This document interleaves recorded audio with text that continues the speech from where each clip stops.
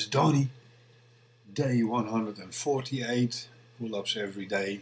It was a bit windy, as you can see. Door is uh, gone open and closed, and uh, of course I did not see it because I was doing my pull-up. Today I worked up to six repetitions.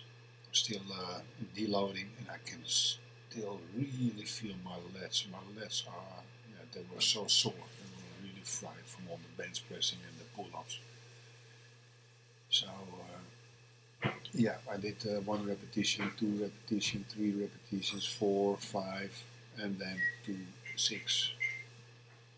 Normally I train in the mornings, but uh, this uh, was a little bit uh, chaotic uh, morning today.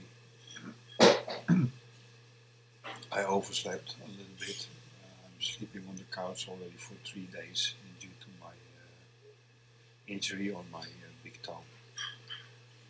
And uh, it's not sleeping too good. Is the wind again. Closing the door. Anyway, it doesn't matter. You can see what I'm doing.